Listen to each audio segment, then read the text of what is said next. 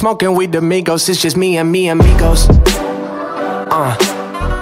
Hey guys, welcome back to the channel, and today we have another video for you guys. So I didn't want to upload yesterday or probably tomorrow. I'm probably gonna upload this two days after. Um, I want to give my channel a little bit of a break instead of just pumping out constant content because uh, I need to wait for my bumper. My bumper is gonna be taking a few days because it's from the other side of the world, um, and I did pay about $100 for shipping, so that was kind of ridiculous. But uh, the bumper as it came in, I, I wanna I wanna be able to have good content out in the near future, so I wanna be able to pump out content then. So in the meantime, um, I was just trying to fix up my brother's car. I was trying to see, he has like this random light that's always on, which is saying like a light bulb's not working. But I checked all the front bulbs, I checked every single rear bulb, everything seems to work. So I don't understand, and even it passed headlight brake inspection. So I don't understand why the light is still on. I thought there was something wrong with the computers. Basically, there's two lights on the Oz dash, which is one of them is the tire pressure monitoring system that usually happens to every single car that's been in an accident.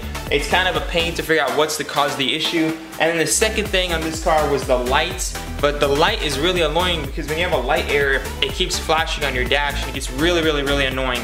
So I'm gonna show you guys how to read the code, identify which bulb is giving the issue, and fixing the issue. So we're gonna go ahead and do that today, and um, hopefully, you know, I, I, fixed one side of the car yesterday, we'll try to fix the other side. Um, hopefully everything's gonna be cleared up, he's no longer gonna have that error. And, the, and in the same video, we're gonna install, hopefully my brother can find the LEDs um, for the doors. We're gonna install the BMW LEDs for the doors. So uh, it's gonna be a pretty good video, um, but I just wanna see and show you guys that you can read codes without a code reader um, just from inside your car. You don't even need any special tools or anything. All right, so all the bulbs, go ahead and clean that off real quick.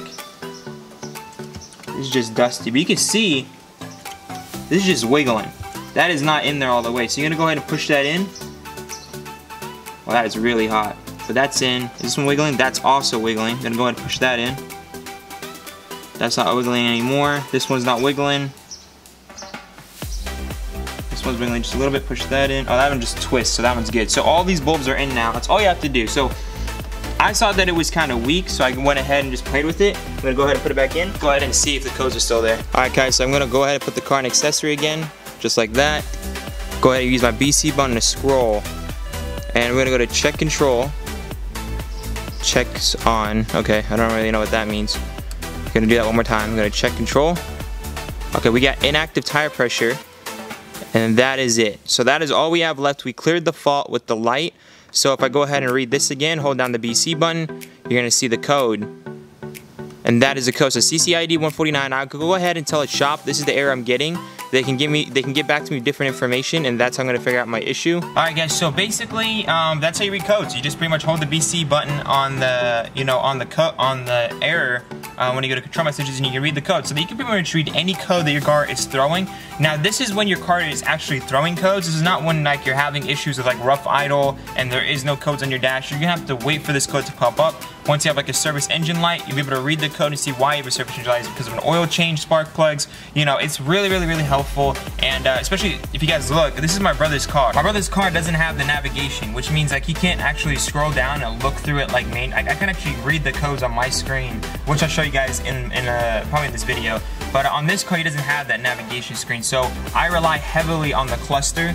And, um, you know, that you can still read the codes off your cluster. And I can still do this in my car, even though I have the navigation. But it's so much easier when you have the navigation system. So, yeah, that's pretty much how you do that. I'm to go ahead and show you guys um, pretty much how you read codes on my car. And then uh, we're to go ahead and install the lights on my brother's doors because that's to be pretty sick. And like I said, guys, I cannot wait for me to do a lot more stuff with my car. Just waiting on all the parts to come in. They're coming from a really, really far distance. So uh, let's just go check out my car real quick.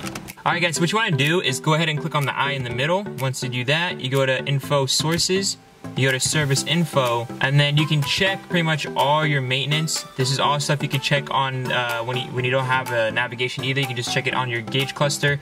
Um, and then you go ahead and go up, and you go to check control messages. This is where you, pretty much the car reads the codes. You can clearly see it on here, and it'll tell you exactly where the fault is, like your, your rear right light, your front headlight, or you know, airbag or whatever, seatbelt, harness, passenger, whatever. It'll show all right here. Now I know I have an error code for my PDC sensors for the rear because my bumper is missing and my PDC sensors are not plugged in. So let me show you guys what happens when I uh, put my car in reverse. So now going back to service info, you can go ahead and see that I have a PDC malfunction. Now when I click on PDC malfunction, it's gonna tell me your park distance control, that's what it is. Um, have your system checked, which is you really don't need to do that. You just look up what park distance control means if you guys don't know what that is, and I know what that is. That's your rear parking sensors.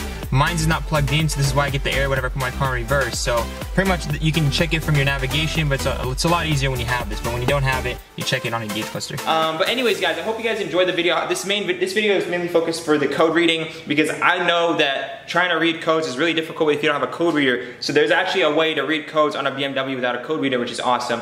Um, but yeah, if you enjoyed this video, smash the like button. Remember to stay humble, and I'll see you guys in the next one when all my parts come in. So uh, yeah, peace out. She got me saying, Yalla, baby. I need you to see me. With the front and then put your guard down, girl. We know you ain't easy. She got me saying, Yalla, baby. I need you to see me. With the front and then put your guard down, girl. We know you ain't easy. You know,